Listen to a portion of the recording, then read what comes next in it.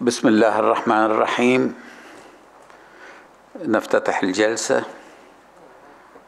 أسعد الله صباحكم بكل خير. هذه الجلسة الثانية لمجلسكم الموقر التي تتم عن بعد. فحياكم الله. ننتقل إلى التصديق على مضبطة الجلسة السابقة فإذا هناك أي ملاحظات؟ إذا لم تكن هناك ملاحظات فتعتبر المضبطة مصادق عليها. ننتقل إلى بند الرسائل الواردة. الأخ الأمين العام تفضل. الرسائل الواردة. قرار مجلس النواب بخصوص قرار مجلس الشورى بشأن مشروع قانون بتعديل المادة 18 من قانون الخدمة المدنية الصادر بالمرسوم بقانون رقم 48 لسنة 2010 المعد بناء على الاقتراح بقانون المقدم من مجلس النواب. اختار المجلس بإحالته إلى لجنة الشؤون التشريعية والقانونية. مشروع قانون بتعديل المادة ثلاثة من المرسوم بقانون رقم 10 لسنة 1976 في شأن الإسكان. المرفق للمرسوم رقم ثلاثة لسنة 2020 اختار المجلس بإحالته إلى لجنة المرافق العامة والبيئة مع اختار لجنة الشؤون التشريعية والقانونية.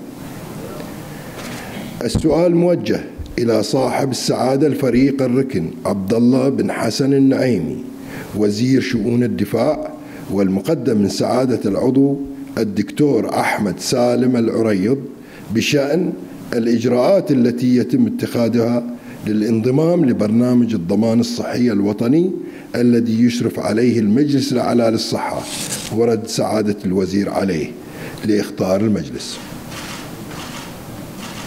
شكرا معالي الرئيس. شكرا جزيلا. إذا ننتقل إلى تقرير لجنة الشؤون الخارجية والدفاع والأمن الوطني بخصوص مشروع قانون بشأن التطوع لخدمة الأمن العام المرافق للمرسوم رقم 41 لسنة 2019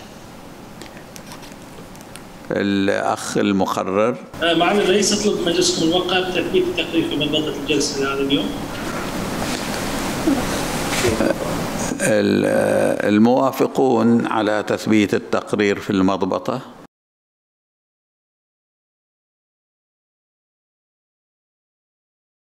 أغلبية موافقة. تفضل استمر في قراءة التقرير.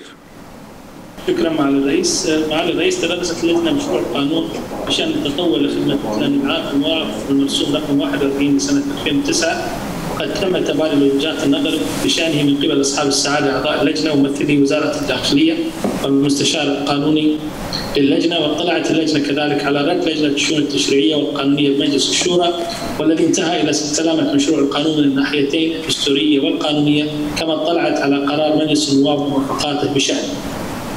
يتألف مشروع القانون فضلا عن الديباجة من 24 مادة تناولت المادة الأولى منه تعريفا لبعض المصطلحات الواردة فيه أما المادة الثانية فقد أجازت لوزارة الداخلية قبول المتطوعين للعمل في خدمة الأمن العام. وجاءت المادة الثالثة بالشروط الواجب توفرها لقبول المتطوع. أما المادة الرابعة فتتعلق بإنشاء لجنة شؤون المتطوعين وتطرقت المادة الخامسة إلى برامج الوزارة لعقد العمل التطوعي مع المتطوع.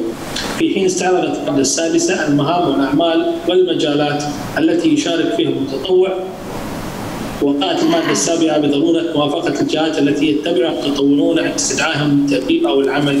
أما المادة الثامنة فقد بينت البرامج التدريبية التي تحددها الأكاديمية الملكية للشرطة أو أي جهة أخرى يحددها وزير الداخلية لإعداد تأهيل المتطوعين وحددت المواد من 9 إلى 11 حقوق المتطوعين ورواتبهم واوجبت الماده 12 على المتطوع قبول مباشره عمله تأدية قبل مباشرة عمله اسف تأدية اليمين المنصوب عليه. وجاءت المادة 13 لتحديد واجبات والتزامات المتطوع واعتبرت المادة 14 المتطوع مكلفا من تاريخ قبول التطوع ما لم يقبل طلب اعفائه هذا وقد بينت المادة 15 حالات ارفاع المتطوع فيما اوضحت المادة 16 أثار انقطاع المتطوع عن العمل عن التدريب أو العمل بدون عذر أو إذن قانوني قبل قبول طلب إعفائه من التطوع. وأجازت المادة 17 للوزير منح المتطوعين الأوسمة والشهادات التقديرية والأنوار ناظرا للأعمال التي يقومون بها من بطولة وشجاعة وأقدام. ومنحت المادة 18 المتطوع أولوية الالتحاق بالخدمة بقبول الأمن العام أو التوظيف بصفة المدنية إذا استوفى شروط شغل الوظيفة. كما منحت المادة 19 المتطوع أثناء فترة تدريبه أو عمله صفة الضبطية القضائية. أما المادة 20 فقد نظمت مجازات المتطوع تأديبيا أو محاكمته أمام المحاكم العسكرية. وقررت المادة 21 سريان قانون قوات الأمن العام على المتطوع خلال فترة تدريبه أو عمله فيما لم يرد بشأنه نص القانون أو القرارات الصادرة تنفيذا له وتتضمن الماده 22 نص الاعتماد المالي لتغطيه النفقات اللازمة لتنفيذ أحكام هذا القانون وألزمت الماده 23 وزير الداخلية بإصدار القرارات اللازمة لتنفيذ أحكام هذا القانون. وأخيرا جاءت الماده 24 تنفيذية تتعلق بالجهات المنوط بها تنفيذ أحكام هذا القانون وتاريخ بدء العمل به بما ورد من أحكامه. ويهدف مشروع القانون لتنظيم أحكام التطوع الاختياري لخدمة الأمن العام وذلك لتفعيل الشراكة المجتمعية لاتاحه الفرصه للمشاركة بالجهود الأهلية في خدمة الأمن العام. وترى اللجنة الأهلية وترى اللجنة أهمية مشروع القانون وذلك لأنه يشكل دعما لقوات الأمن العام ومساندة لها أثناء تأديتها واجباتها ومسؤولياتها وأنه يأتي بدافع الولاء والانتماء الوطني ومنطق الإيمان بالشراكة المجتمعية والمسؤولية الاجتماعية المشتركة بين أفراد الوطن المقبلين على على التطوع لخدمه قوات الأمن العام. توصية اللجنة معالي الرئيس الموافقة من حيث المبدأ على مشروع قانون بشأن التطوع لخدمة الأمن العام والقرار بمجلس الموقع. شكرا جزيلا. أه نبدأ بإعطاء الكلمة لطالبي الكلام الدكتورة جهاد الفاضل تفضلي أه شكرا معالي الرئيس أه أسعد الله صباحكم جميعا بكل خير والشكر أيضا موصول للجنة الشؤون الخارجية على سرعتهم في إنجاز هذا التقرير. التطوع معالي الرئيس هو سلوك إنساني واجتماعي وحضاري وكلنا لاحظنا لما ناقشت السلطة التشريعية مشروع قانون القوى الاحتياطية بقوة الدفاع وكيف كان حماس ونقاش المواطنين ورغبتهم للمشاركة كتفا بكتف مع إخوانهم بالجيش. واليوم مع هذه الأزمة أزمة كورونا لما انفتح باب التطوع شفنا أيضا أن العدد الكبير اللي سجل وهو يقدر بأكثر من 30 ألف شخص خلال أيام قليلة حتى ينضمون للحملة الوطنية في مختلف المواقع. طبعا الكل يريد تلبية النداء. هذا هو شعب البحرين وهذه شيم أهل البحرين. معالي الرئيس البحرين دائما تعطي نموذج مؤسسي يقتدى به الآخرين. قبل كم شهر احتفلنا بمئوية الشرطة وهذا يدل على عراقة و على عراقة التنظيمات الأمنية عندنا. بعد عقود من إقرار هذا القانون ستأتي الأجيال المقبلة وتتحدث عن ريادة مملكة البحرين في إقرار قانون للتطوع لخدمة الأمن العام. لأن طبعا التطوع ما زال في بلدان أخرى مقتصر على الجمعيات الأهلية والأعمال الإنسانية. لكن عندنا في البحرين الدولة هي الراعية وهي المنظمة للتطوع والمؤمنة لحق المتطوع. وميزان هذا الحق بيد رجال مخلصين من وزارة الداخلية يقودهم وزير بار بقسمه وواجبه الدستوري واستحق عن جدارة وسام الأمير نايف للأمن العربي من الدرجة الأولى. معالي الرئيس المرحلة الأولى من تطبيق هذا القانون مثل ما ذكروا الأخوة من وزارة الداخلية أن إن بتكون بفتح باب التطوع بالدفاع المدني. آه هذه خطوة مهمة لأنها بتكسب المتطوع آه إن كان مواطن أو مقيم آه المهارة والخبرة اللازمة بخطوات الوقاية المدنية من الحوادث والإسعافات الأولية والإنقاذ وغيرها. وشفنا مؤخرا نجاح المبادرات الأهلية التطوعية لتعقيم المناطق. وهذه طبعا كان بترتيب وإشراف وتدريب رجال الدفاع المدني. هذه هو سر نجاح المسؤولية المجتمعية بين الفرد ووزارة الداخلية. طبعا كل الشكر لوزارة الداخلية والحكومة الموقرة على التقدم بهذا المشروع في خاصة في هذه الفترة الحرجة. وشكرا معالي الرئيس. شكرا جزيلا.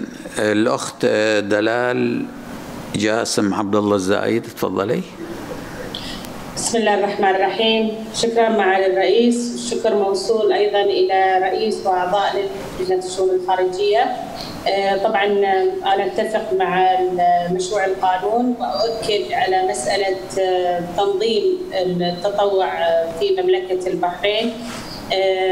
أيضا أشكر اللجنة إن هي بعد توافقت مع عدد من الأمور التي تضمنتها تقرير اللجنة التشريعية والقانونية وخاصة فيما يتعلق في المادة 17 من مشروع القانون بالإضافة والمادة الرئيسية معالي الرئيس إن إحنا نؤكد إن مضامين وأحكام التي تناولتها مشروع القانون جاءت بتوصيف للمتطوع على أساس إنه هو يكون في حكم الموظف العام التابع لقوات الأمن العام خاصة بحسب طبيعة الاختصاصات والمهام التي موكلة إليه.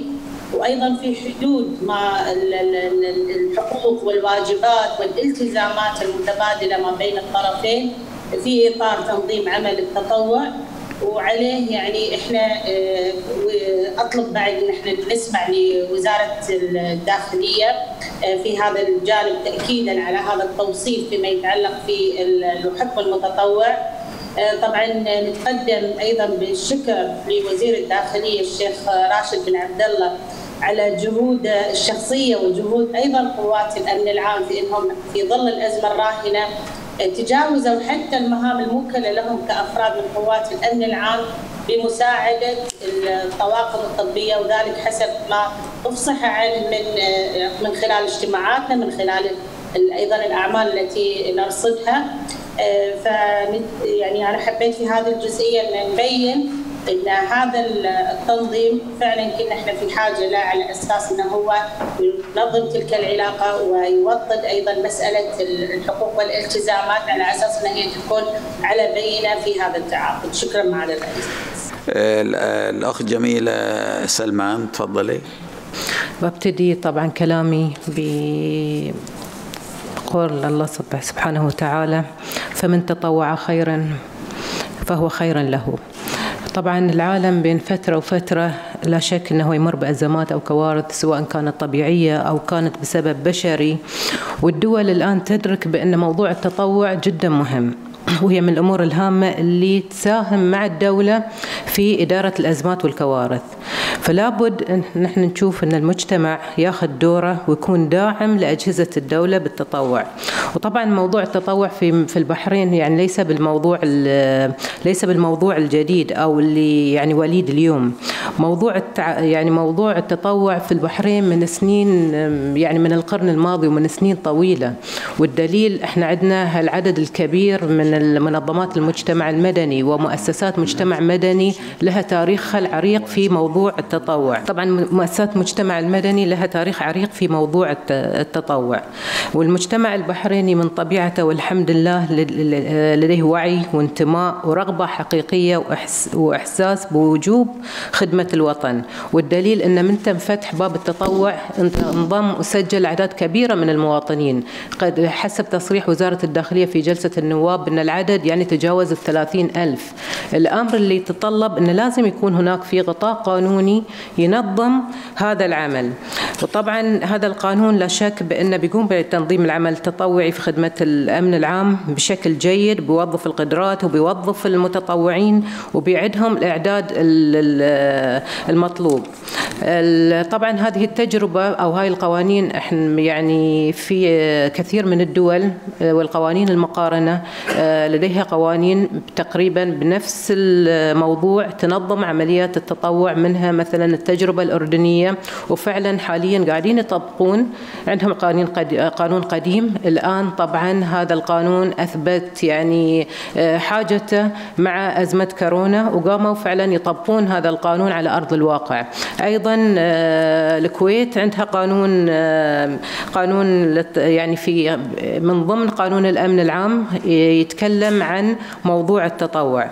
فالتجارب الدولية كثير يعني كثيرة. إحنا طبعا عندنا قانون القوة الاحتياطية في مملكة البحرين وإحنا كلنا نتذكر إن في 2019 مجلس مجلسنا أقر مرسوم بقانون رقم 20 اللي بشأن القوة الاحتياطية وخصوصا تعديل المادة 10 اللي طبعا يقابلها الحين المادة 9 من مشروع القانون اللي اللي تحمل الهيئات والمؤسسات الخاصة وأصحاب الأعمال نسبة 30% من الأجر المستحق. الدكتور محمد علي حسن تفضل. كما تعلم معالي الرئيس أن التطوع هو من الأعمال النبيلة التي يحث عليها الدين وتحث عليها الأخلاق والثقافات المجتمعية. وأنا متأكد معالي الرئيس أن هذا المشروع بقانون حال صدوره سيكون ناجحا إن شاء الله لما يتصف به شعب البحرين من محبة للخدمة العامة وما جبل عليه من صفات بحب التكافل وحب الخير وما يتمتع به البحرينيون من كفاءة وخبرة في كثير من المجالات. سيكون هذا المشروع إن شاء الله أو يمثل دعما ومساندة لقوات الأمن في القيام بعملها على أكمل وجه فالشكر الكبير للحكومة الموقرة وبالأخص آه، وزارة الداخلية على تقديم هذا المشروع المهم في هذا الوقت. آه، لكن معالي الرئيس تمت مسألة تتعلق في رأيي في نظري بموضوع أو فلسفة التطوع التطوع كما هو معروف هو قيام الإنسان بأي عمل سواء كان بدني أو فكري أو مالي وإلى آخره بدون مقابل. فلسفة التطوع لغة واصطلاحا تقوم على هذا المبدأ. وما نلاحظه معالي الرئيس أنه في ثنايا هذا المشروع وبالتحديد في المادة الخامسة هناك ذكر لكلمة مكافأة. وفي المادة التاسعة ذكر أيضا لموضوع الراتب فأنا أتساءل التطوع بمفهومه العام وفلسفته الذي يقوم على الاختيار أولا ومجانية العمل لأن المفروض التطوع يكون من غير مقابل كما ذكر هذه المواد الموجودة في القانون سواء المادة الخامسة أو التاسعة التي تنص على المكافأة أو الراتب تباعا هل هذا يتناقض مع فلسفة التطوع؟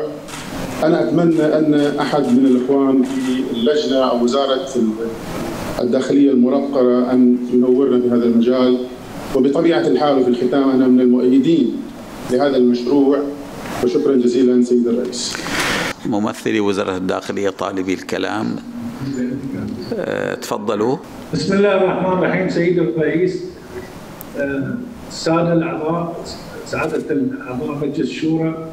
يشرفني ويسعدني ان امثل أمامكم لمناقشه قانون التطوع وأنا كلي شكر على وممتن لمشاعركم تجاه وزارة الداخلية والأعمال المنوطه بوزارة الداخلية ومستعد أنا والاخوان في وزارة الداخلية للإجابة على كل استفساراتكم أو أسئلتكم. بس على سريعا علشان ما ياخذ من الوقت بس. اثيرت بعض تكررت مسألة المستوى التعليمي والجنسية. فأحب أقول حق الأخوان والأخوات في مجلسكم الموقر بأن هناك سوف تكون من ضمن المشروع القانون لجنة للفرز يعني من ضمن أعمال اللجنة اللي هي فرز المتطوعين. فقد يأتينا متطوع طبيب أو قد يأتينا طبيب أو يكون عامل. فأحيانا نحتاج إحنا سواق لأعمال اللوجستية. فهذه ما تحكمها مستوى تعليمي ولا جنسيه إن كان السائق المتقدم للتطوع هو سائق بحريني أو كان جنسية أخرى.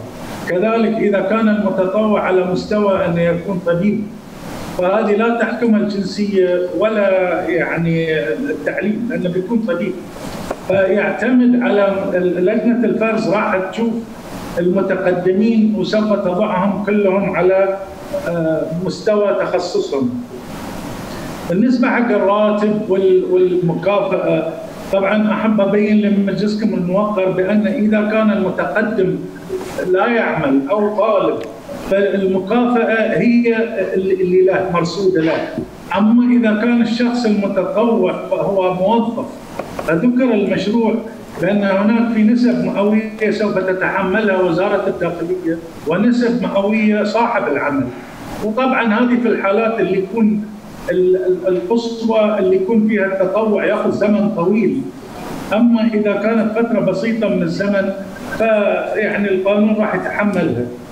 أشكركم مرة ثانية واكون حاضر أمامكم لأي استفسار أو أي سؤال آخر. وشكرا. دكتور منصور سرحان. أمامنا اليوم مشروع قانون له خصوصيته وأهميته في آن واحد لأنه يتعلق بالتطوع لخدمة الأمن والواقع معالي الرئيس أن الشعوب المتعلمة والمتحضرة هي التي تعي أهمية التطوع.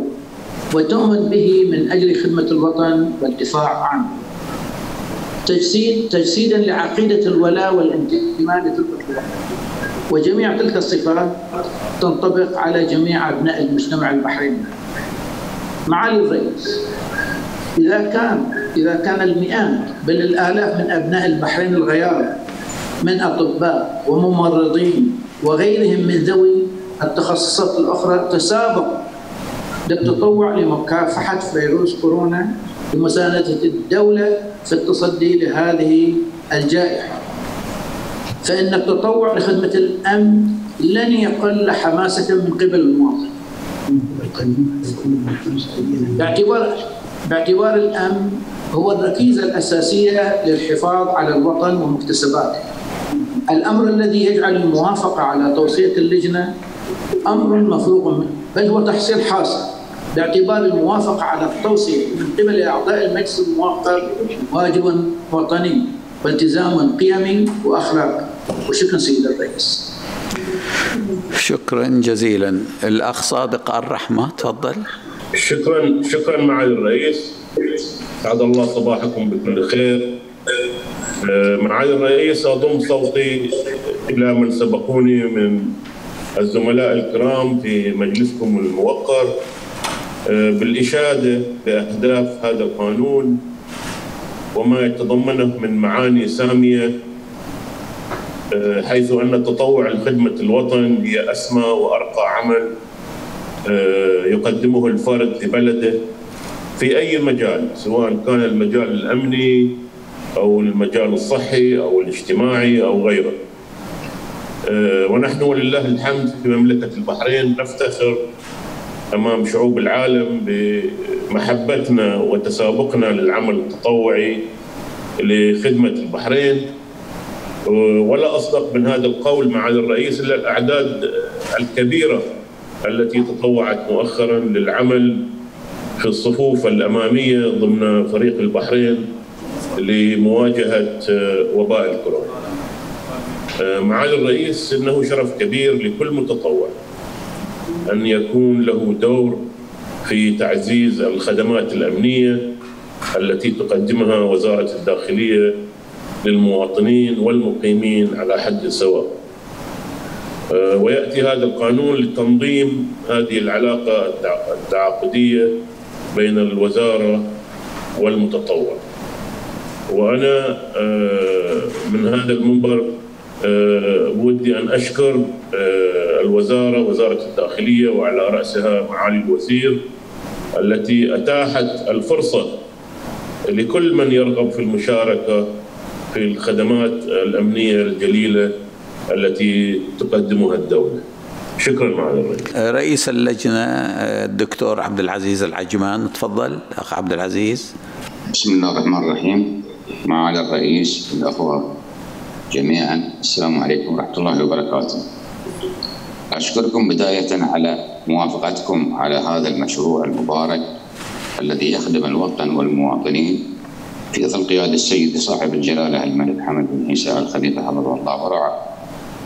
وما لا شك في أن بعض هذه التساؤلات التي طرحت ما هي إلا إثراء للنقاش ولكن الموضوع أو هذا المشروع لا يحتاج أن يعاد إلى اللجنة للنظر في مواده لكون أن هذه الحوافل المادية هذه مكرمة وتشجيع من ولاة الأمر للذين لا يعملون أو الذين في حاجة إلى ذلك. فلا أعتقد أن هذا يتعارض مع التطوع أو خدمة المتطوع. آه، لا ننظر إلى مثلا الرؤية الغربية التي لا ترى في ذلك شيء ولكن إحنا كمجتمع متكامل ومتكاتف أثبتنا قدرتنا وكفاءتنا بدون هذا الشيء حتى فما بالك لما يأتي هذا حافز ومكرمة من جلالة الملك حفظه الله ورعاه القائد الأعلى لحفظ الأمن والأمان وتشجيع الناس والمواطنين والمقيمين على خدمة هذا الوطن. فأرجو من مجلسكم مجلسكم الموقر شاكرا ومقدرا لكم الموافقة على هذا المشروع الذي يخدم المصلحة الوطنية سلامة الوطن من سلامة المواطن من سلامة الوطن فالكل في خدمة الوطن.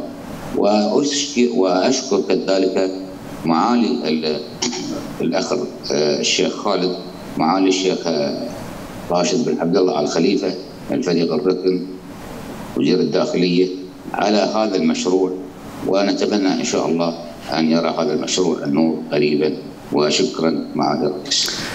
شكرا جزيلا. آه، الأخ جمع الكعبي تفضل. السلام عليكم ورحمة الله وبركاته شكرا معالي الرئيس والشكر موصول إلى رئيس وأعضاء اللجنة المحترمة معالي الرئيس التطوع مطلوب في كل على كل مواطن غيور على بلده لأن هذا واجب مناط على الجميع. ولو أن كل إنسان مواطن من ذكر أو أنثى ومخلص لديه قام بهذا الواجب يعتبر شيء بسيط يقدم للوطن. وأنا مع الرئيس أتفق مع قرار اللجنة وشكرا مع الرئيس. شكرا جزيلا. الدكتورة ابتسام الدلال تفضلي. شكرا معالي الرئيس والشكر موصول إلى آه، وزارة الداخلية ورئيس وأعضاء آه، اللجنة الموقرين. آه، أسعد الله صباحكم بكل خير. إن خدمة الأمن العام طبعا هي واجب وطني ومسؤولية وطنية بامتياز. والقانون المطروح والمعاني السامية التي تضمنها يؤكد كثيرا المشاركة الاجتماعية. أنا برأيي آه، هن لي لي رأي آخر عن آه، زملائي حيث أن جميع الشباب البحريني يجب أن يكون لهم شرف القيام بهذه الخدمة. كل في مجاله ولسن معين وبذلك تضمن الدولة الاستمرارية كما نضمن أن يكون شبابنا أقوى ساعدا. واعتقد أنه آن الأوان للتفكير بالخدمة الإجبارية للأمن العام غير التطوعية ومن جهة أخرى فإن التطوع طبعا يحمل دائما في جنباته أهداف سامية ولا يجوز أن يربط بالعائد المادي قد يربط بالمكافأة ولكن أن يربط بالراتب فأعتقد أن هذا الموضوع كما جاء في المادة الخامسة والمادة التاسعة أعتقد أنه نحتاج أن نعيد النظر في ذلك. بالنسبة لإشراك المقيمين فإن لدي بعض التحفظ على مشاركة المقيمين الأجانب وليس العرب لأننا نحتاج دائما خلال خدمة الأمن العام السامية أن نؤكد على ثوابتنا الثقافية والتاريخية واللغوية.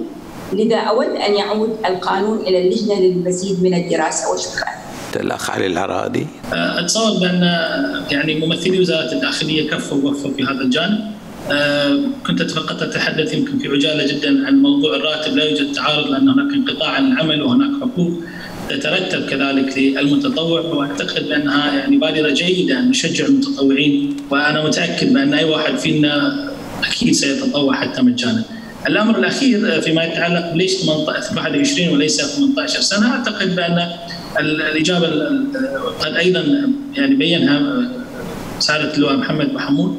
آه، لاننا نحن نتحدث عن آه، الحقوق المدنية آه، وبالتالي الحقوق المدنية والسياسية لا يكتسبها الشخص إلا بعد أن يبلغ ال 21 عام وأعتقد بأن السن سن ال 21 فيه إصابة كثيرة ان أنهي مداخلتي بدعوة الجميع أكيد وأنا واثق للتصديق للموافقة على هذا المشروع لكي يرن شكرا الرئيس.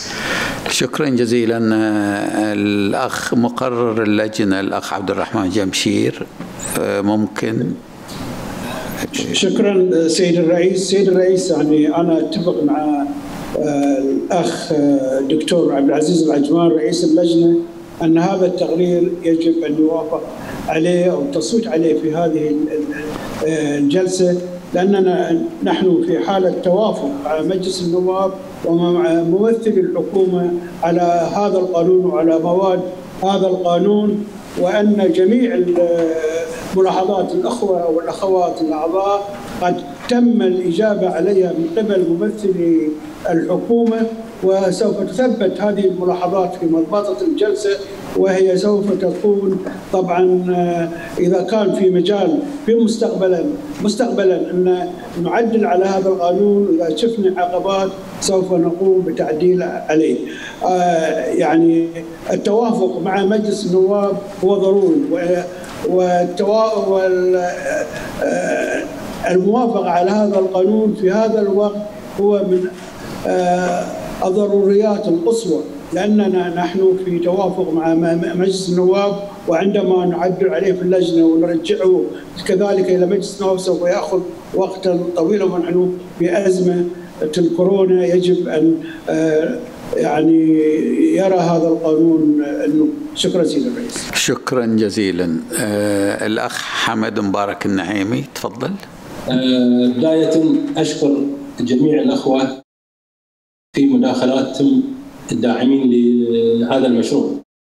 وأخص كذلك أخي الدكتور عبد العزيز العجمان رئيس اللجنة وأعضاء اللجنة أيضا. آه سيد الرئيس لن أدخل في تفاصيل المواد فقط عندي توضيح لبعض الأخوة اللي عندهم ملاحظات على بعض التساؤلات واللي ذكر أنه يرجع اللجنة واللي أحب أبين لهم أن إحنا كلجنة جلسنا مع الأخوة في وزارة الداخلية مشكورين أعطوا كل التفاصيل اللي أمامكم الآن. الشيء الآخر إن هذا القانون أتى من الحكومة وتحديدا من وزارة الداخلية بجميع تفاصيله. فوزارة الداخلية ملمة كل الألمام كل النقاط اللي تفضلوا بها الإخوان وكل الهواجس اللي ذكروها. فكل هالأمور عندهم لها جواب. وإحنا الآن في ظروف تتطلب إن إحنا نقر هذا المشروع ونوافق عليه ووزارة الداخلية بالسرعة الممكنة وتمشي فيه.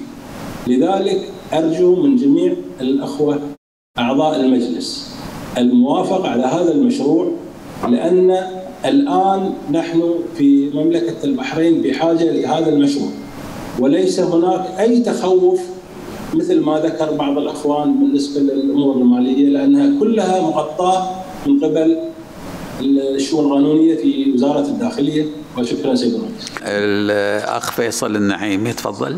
أنا ما راح أعيد بعض الأمور اللي ذكروها سعاده الأعضاء لكن يعني ليش إحنا نربط التطوع إنه ما في له مكافاه؟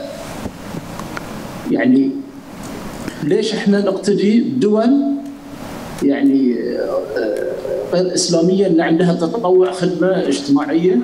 يعني هذا كرم عربي. إذا كان البحرين ممثلة بوزاره الداخلية راح تعطي مكافاه فهذا كرم. يعني هذا ما له خص في التطوع. يعني هذا هو جاي برغبة منه. وشخصيه سواء ولا في صله رسمية بينه وبين المؤسسة أو الوزارة اللي راح تطوع يعني ما يقدر يلزم الوزارة بأي شيء. فإذا هي اعطته مكافأة أو راتب فهذا كرم من البحرين من وزارة الداخلية.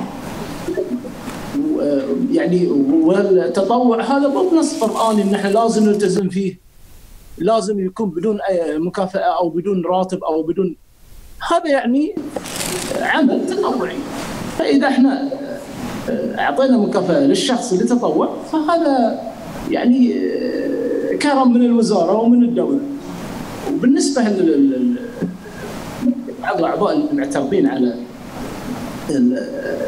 مسألة التطوع يعني في شيء ما حد ذكره اللي هو إصابة العمل في التطوع. بعد وزارة الداخلية والدولة أكفلت إصابة العمل للمتطوع. فهذه الأشياء يعني أنا ما ما أعرف معالي الرئيس ليش في اعتراض على إنه يرجع التقرير إلى أنا أتمنى من الاعضاء التصويت لأن هذا يخدم الدولة ويخدم المواطن. هذه ما راح يخدم وزارة الداخلية يخدم مصالحها. هذا راح يخدم البحرين ويخدم المواطنين البحرين.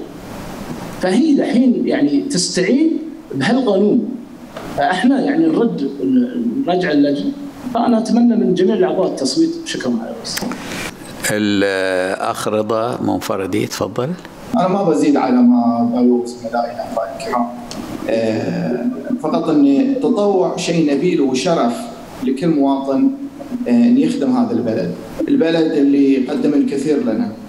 وفي هذه الازمه أزمة كورونا آه، كان آخر مثال على ذلك ما قدم هذا البلد لنا من المساعدات والتسهيلات للمواطنين وللمقيمين. ومثل ما سمو الشيخ ناصر تفضل وقال في الفيديو اللي نزله في السوشيال ميديا إن جلالة الملك باع كل شيء وشرى سلامتكم. فهذه آه، أحب أقدم الشكر الجزيل للقياده الرشيدة وعلى راسها جلالة الملك. آه، والفريق الوطني لمكافحة فيروس كورونا بقيادة سمو الشيخ سلمان آه، بن حمد آل خليفة ولي العهد. طبعا هالأيام شفنا الإقبال الكبير اللي صار على حملة فينا خير الذي يطلق سمو الشيخ ناصر. وهذه أعطانا الشرف المساهمة في التصدي لفيروس كورونا وأن نكون شعب متلاحم مع القيادة. طبعا هذه الحملة أثبتت لنا مدى تلاحم الشعب مع القيادة والقياده مع الشعب. ورده الفعل الإيجابية اللي شفناها من من كافة أعضاء المجتمع من أفراد وإلى شركات لبنوك ففي النهاية بس حبيت أقول إن من السهل الواحد يكون متفائل في الأوقات السهلة واللي ما فيها تحديات. ولكن في الأوقات الصعبة اللي فيها تحديات هي هني تبين معادن الشعوب والقيادات. والحمد لله الحمد إن البحرين في هالوقت أثبتت قيادة وشعبا إن معدنها من ذهب. شكرا معالي الرئيس إذا الموافقون على مشروع القانون من حيث المبدأ.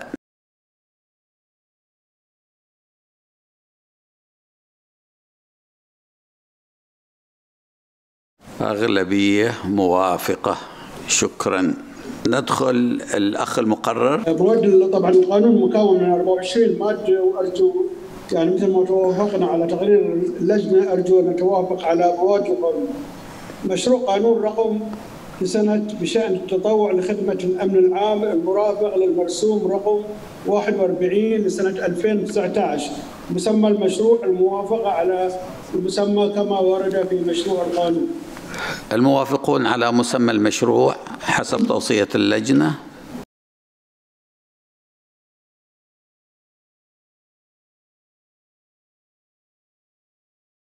أغلبية موافقة شكرا. الدباجة الموافقة على قرار مجلس النواب باستبدال كلمة وتعديلاته بعبارة المعدل بالمرسوم بقانون رقم 69 لسنة 2014 الديباجة حسب توصية اللجنة الموافقون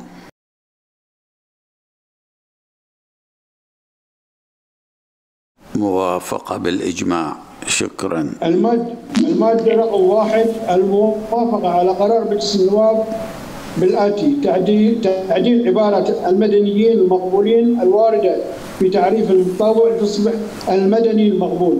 تصحيح الخطأ الإملائي في كلمة الأعمال الواردة في نهاية تعريف الجهات وتصبح الأعمال. على كل الموافقون على المادة الأولى حسب توصية اللجنة بالتوافق مع مجلس النواب. أغلبية موافقة. المادة رقم اثنين الموافقة على نص المادة كما ورد في مشروع القانون. الأخ جمال فخرو له مداخلة. تفضل.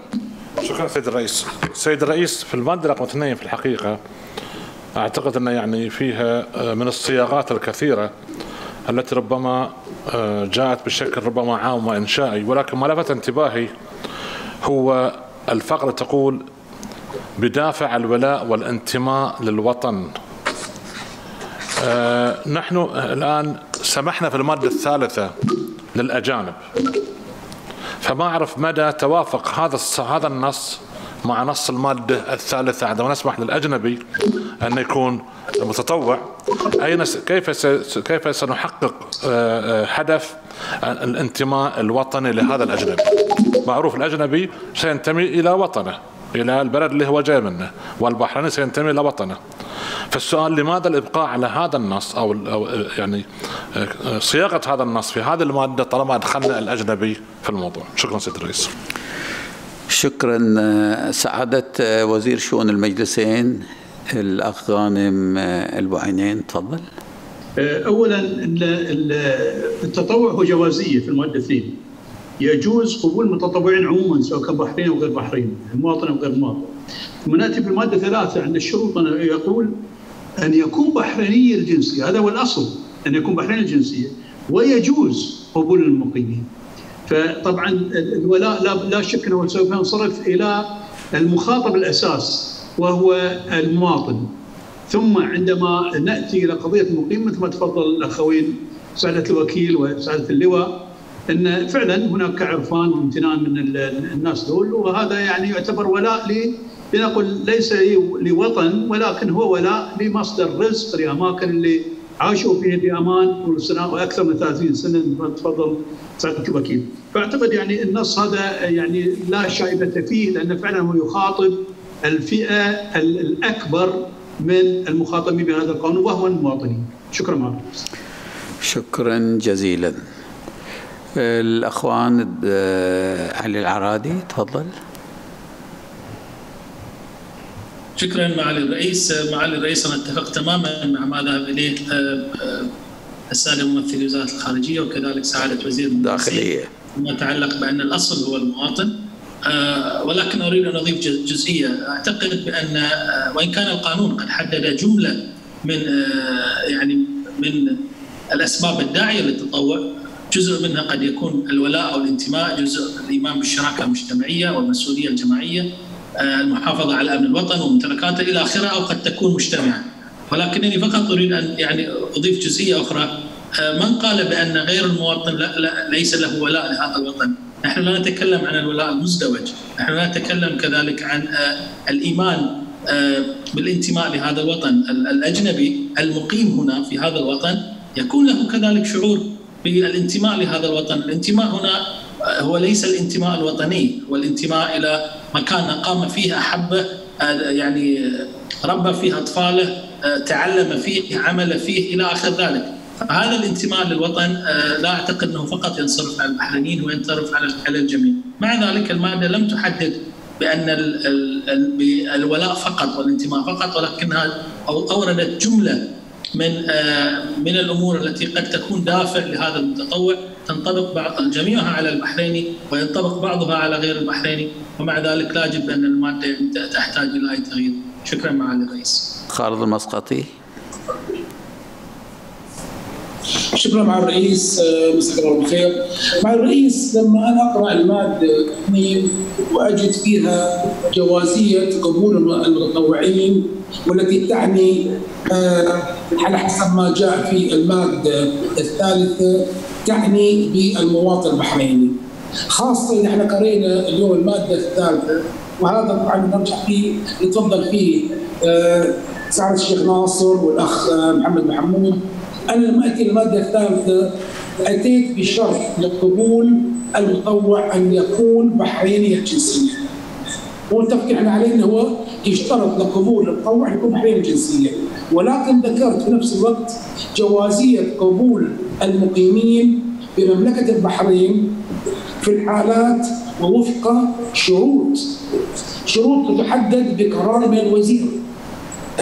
سعر الشيخ ناصر ذكر هناك في موجود من يستحق أن يكون هو فعلا مطوع وإن كان ليس ببحريني وهناك موجود عندنا موجود نوع من الضمان بأن وجود نوع من الشروط التي تصدر بقرار من معالي وزير الداخلية سيعطيني فعلا اختيار الاشخاص الذين هم يستحقون أن يكون عندهم شرع تطوع فنلاحظ ان موجود في أي نوع من التناقض بين المادة 2 والمادة 3 بالعكس في لك روح وأعتقد أن كما جاءت موافق عليها هو المقصود شكرا مع الرئيس على كل الموافقون على المادة الثانية حسب توصية اللجنة.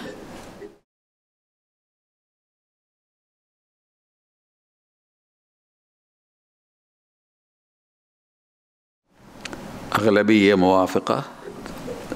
تفضل الأخ المقرر. المادة الثالثة.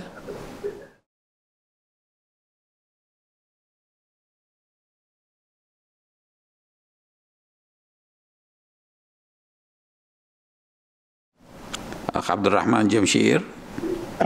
الموافقة على نص المادة كما ورد في مشروع القانون. الموافقة على المادة كما ورد في مشروع القانون حسب توصية اللجنة الموافقون.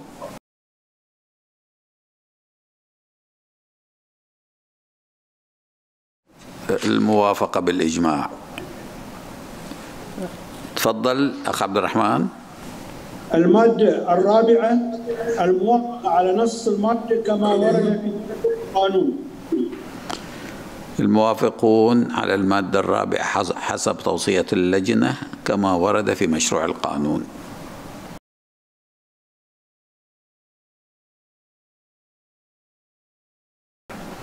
موافقة بالإجماع. تفضل المادة الخامسة. الم... الخامسة الموافقة على قرار مجلس النواب بالآتي.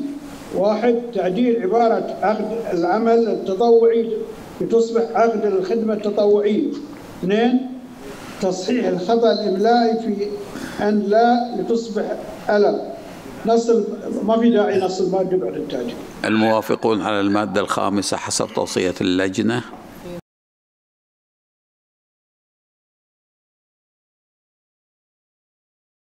أغلبية موافقة. شكرا. آه الأخ عبد الرحمن جمشير المادة السادسة. المادة السادسة الموافقة على نص المادة كما ورد في مشروع القانون.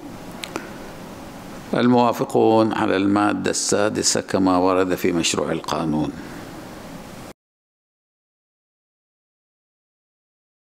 أغلبية موافقة. شكرا. اللي بعدها؟ المادة السابعة الموافقة على نص المادة كما ورد في مشروع القانون. الموافقون على المادة السابعة.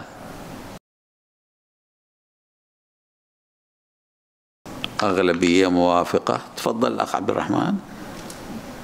المادة الثامنة الموافقة على نص المادة كما ورد في مشروع القانون. الموافقون موافقة بالإجماع. تفضل. المادة التاسعة الموافقة على قرار مجلس النواب بإعادة صوت نص المادة على النحو الآتي. نص المادة بعد التعديل. تتحمل الوزارات والإدارات الحكومية والهيئات والمؤسسات العامة الراتب والمزايا الوظيفية للمتطوع وذلك خلال فترة التدريب أو العمل التطوعي وذلك دون الإخلال بأي من الحقوق والمزايا الوظيفية للعاملين.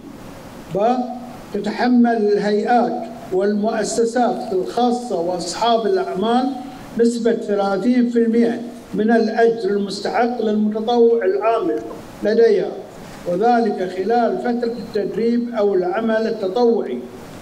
وتتحمل الوزارة صرف باقي الأجر وفي حالة استمرار العمل التطوعي قائما بمدة تزيد على سنة متواصلة تتحمل الوزارة صرف كامل الأجر بالمتطوع عن المدة التي تزيد على ذلك وذلك دون الإخلال بأي من الحقوق والمزايا الوظيفية للعاملين.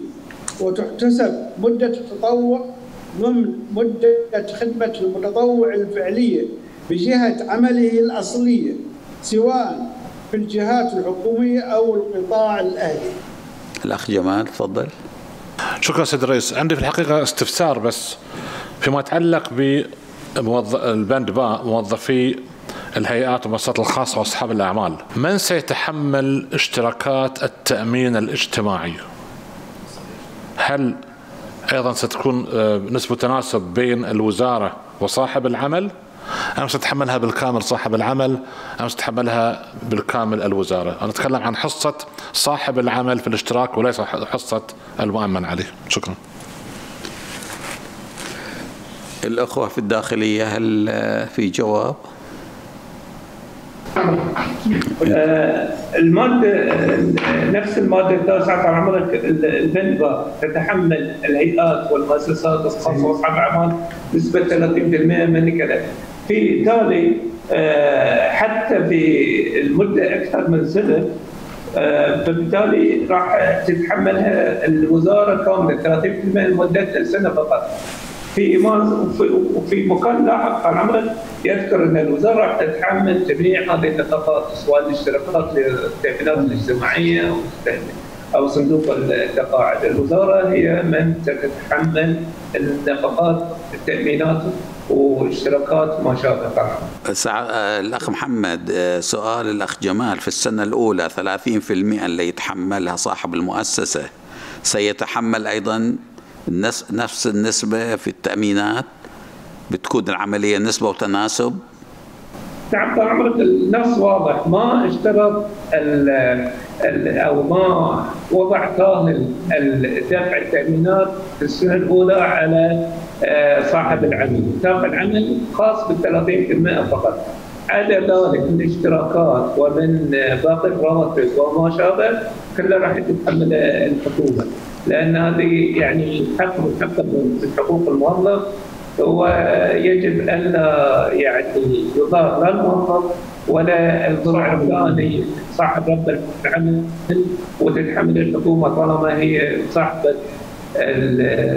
الفائدة من مجهود المتطوع فهي المفروض عليها تتطوع والنص مشابه للنص قانون كتب الإجبارية في قانون قوة آه، دفاع التحقيقات فالحكومة راح تتحمل حتى أول سنة. طبعا شكرا جزيلا. الأخ المقرر قال المادة التاسعة حسب ما قرأها لكم. بالتوافق مع الأخوة في مجلس النواب الموافقون.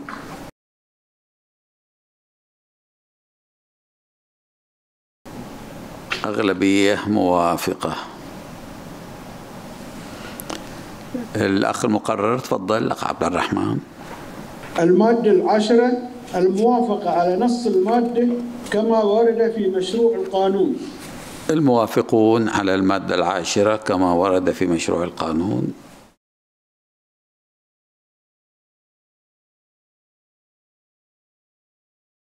موافقة إجماعية. شكرا. اللي بعدها؟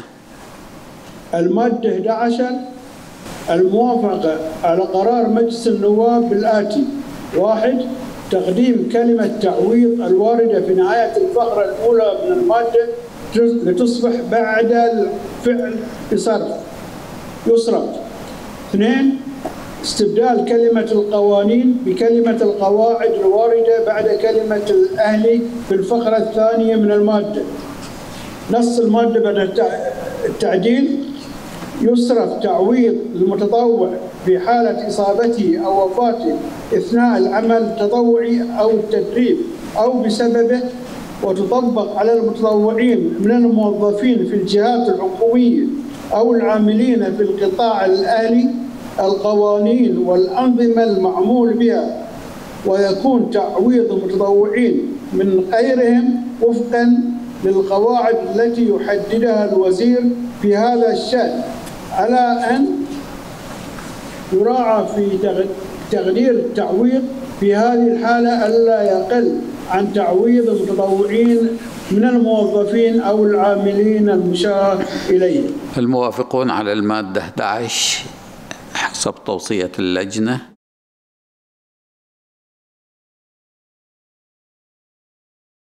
بالإجماع. تفضل. المادة 12 المادة 12 الموافقة على قرار مجلس النواب تصحيح الخطأ الإملائي في كلمة يؤدي.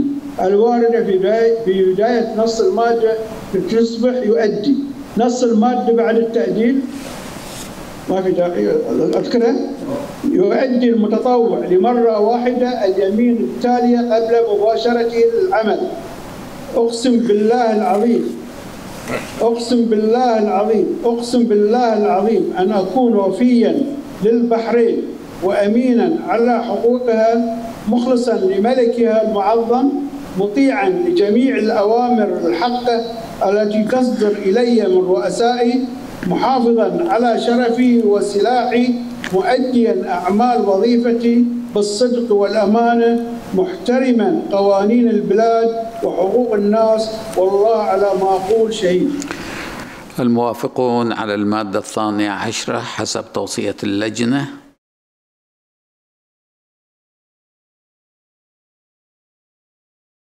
بالإجماع. تفضل اللي بعدها المادة 13 الموافقة على قرار مجلس النواب بتصحيح الخطأ الإملائي في كلمة اختار الواردة في البند 8 تصبح اختار وكلمة الإتيان الواردة في البند 9 تصبح الإتيان. نص المادة بعد التعديل. تكون واجبات والتزامات المتطوع على النحو الآتي. واحد تلبية استدعاء للتدريب أو العمل في أي وقت يطلب من يطلب منه ذلك.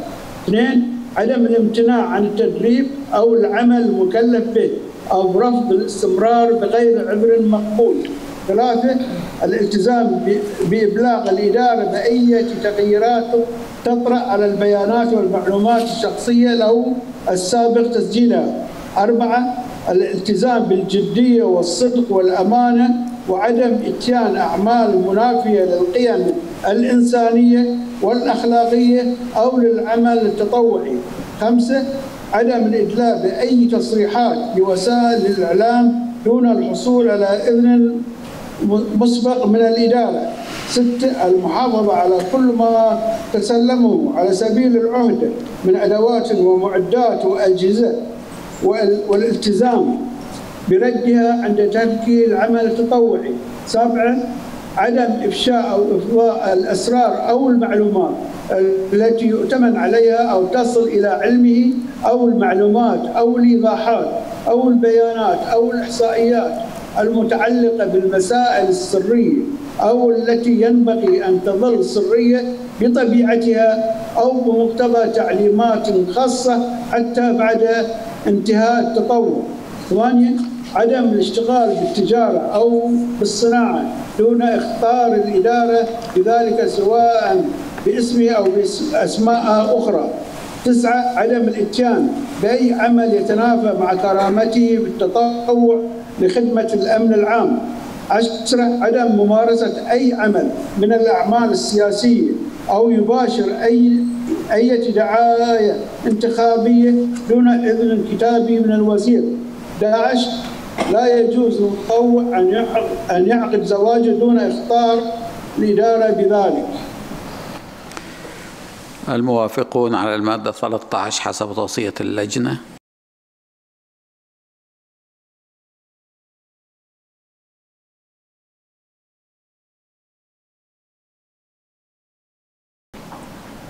موافقة بالإجماع. تفضل المادة 14 المادة 14 الموافقة على نص المادة كما ورد في مشروع القانون. الموافقون على المادة 14 حسب توصية اللجنة.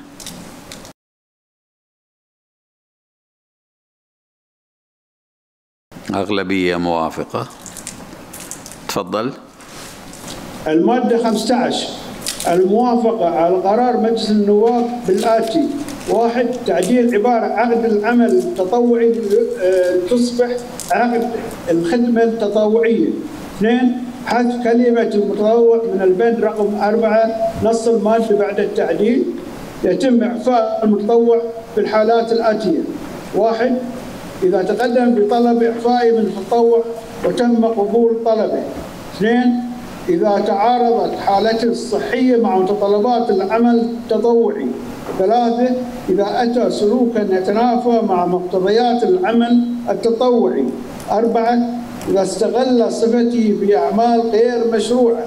خمسة إذا أدين بارتكاب جناية أو جريمة مخلة بالشرف أو الأمانة أو الآداب العامة.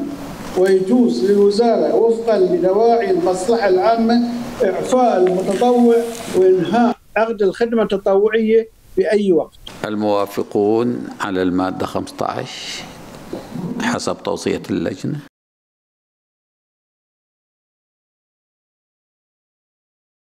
بالإجماع. المادة اللي بعدها؟ المادة 16 الموافقة على نص المادة كما ورد في مشروع القانون. الموافقون على المادة 16 حسب توصية اللجنة وكما ورد في مشروع القانون. بالإجماع. تفضل. المادة 17 الموافقة الموافقة على قرار مجلس النواب بحذف كلمة الأوسمة. والمادة بعد التعديل يجوز للوزير منح المتطوعين الشهادات التقديرية والأنواط نظير الأعمال التي تتسم بالبطولة والشجاعة والإقدام أو التضحية والفداء أو التميز في العمل. الموافقون حسب توصية اللجنة.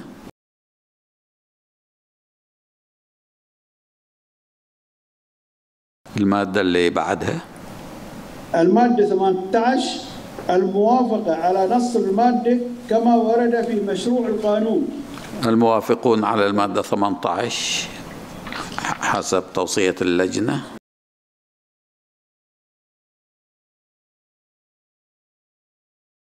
بالإجماع.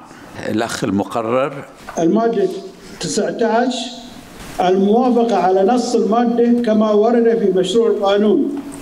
يعتبر المتطوع اثناء فترة تدريبه أو عمله في خدمة الأمن العام من مأموري الضبط القضائي. الموافقون على المادة 19 حسب توصية اللجنة.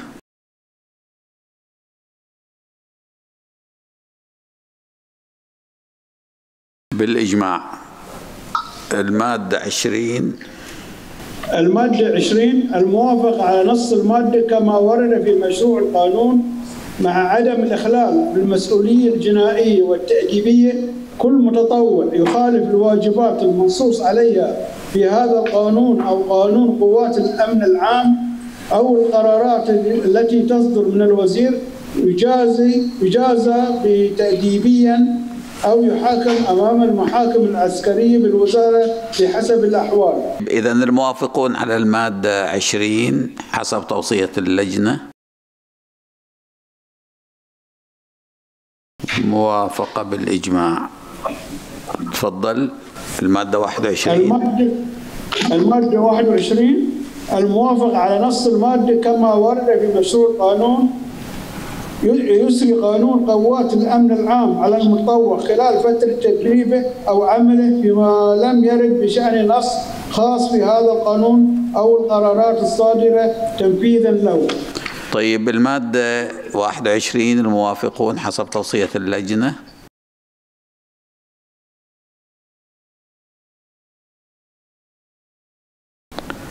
بالإجماع. تفضل المادة اللي بعدها 22 المادة 22 الموافقة على نص المادة كما ورد في مشروع القانون. ترصد الدولة الاعتماد المالي اللازم ويدرج بند خاص في ميزانية وزارة الداخلية لتغطية النفقات اللازمة لتنفيذ أحكام هذا القانون. الموافقون على المادة 22 حسب توصية اللجنة.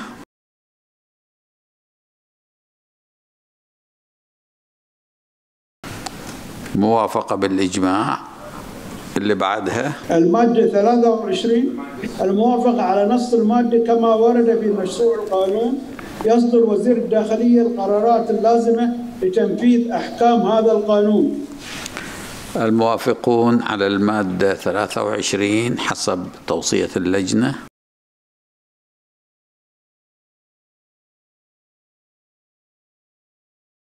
موافقة بالإجماع. المادة 24 داق عبد الرحمن. المادة 24 الموافقة على نص المادة كما ورد في مشروع القانون على رئيس مجلس الوزراء والوزراء. كل فيما يخصه تنفيذ أحكام هذا القانون ويعمل به من اليوم التالي لنشره في الجريدة الرسمية. الموافقون على المادة 24 حسب توصية اللجنة مادة إجرائية.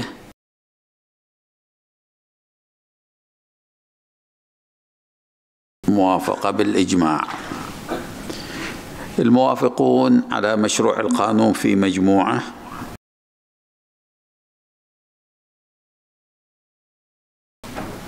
موافقة بالإجماع. أخوان راح نأخذ آه، رأيكم في أخذ الرأي النهائي بصفة مستعجلة. موافقتكم على أخذ الرأي بصفة مستعجلة نداء بالاسم. الأخ الأمين العام تفضل. الدكتورة ابتسام محمد صالح الدلال. موافقة. الدكتور أحمد سالم عبد علي العريض. موافق بسام إسماعيل إبراهيم بن محمد. موافق جمال محمد عبد الرحمن فخرو. موافق جمعة محمد جمعة الكعبي. موافق جميلة علي سلمان أحمد. الدكتور جهاد الدكتورة جهاد عبد الله محمد الفاضل. موافقة. جواد حبيب جواد الخياط. موافق. حمد مبارك حمد النعيمي. موافق. خالد حسين مهدي المسقطي. موافق. خميس حمد محمد الرميحي. موافق. درويش أحمد عبد الله المناعي. موافق. دلال جاسم عبد الله الزايد. موافقة رضا إبراهيم عبد الله منفردي. موافق. رضا عبد الله علي فرج. موافق. سبيكة خليفة أحمد الفضالة. موافقة سمير صادق محمد البحارنة. موافق. صادق عيد حسين آل رحمة. موافق. عادل عبد الرحمن جاسم المعاودة. موافق. عبد الرحمن محمد سيف جمشير. موافق. الدكتور عبد العزيز حسن علي أبل. موافق. الدكتور عبد العزيز عبد الله ناصر العجمان الدكتور محمد علي علي محمد الخزاعي. موافق الدكتور منصور محمد عبد الله سرحان. موافق منى يوسف خليل المؤيد. موافقة نانسي دينا إلي خضوري. موافقة نوار علي عبد الرحمن المحمود. موافق. هالة رمزي فايز. موافقة ياسر إبراهيم محمد حميدان. موافق. يوسف أحمد حسن الغتم. معالي الرئيس علي بن صالح الصالح. موافق. موافقة بالإجماع. شكرا مع الرئيس. إذا نأخذ رأيكم النهائي على مشروع القانون. الموافقون؟ موافقة بالإجماع. مشكورين. آه، أخوان آه، مشكورين اليوم على الانتهاء من هذا القانون المهم. ونشكر آه، الأخوة في وزارة الداخلية سعادة الوكيل الشيخ ناصر وأيضا سعادة اللواء محمد أبو حمود على حضورهم وعلى إجاباتهم. كما نشكر الأخ العزيز سعادة غانم البعينين وزير المجلسين الذي رافقنا طول هذه الجلسة. أخوان قبل ما أختتم الجلسة عندكم تقريرين لوفد الشعب البرلمانية لمملكة البحرين في اجتماع المجلس التنفيذي للجمعية البرلمانية الآسيوية والذي عقد في مدينة.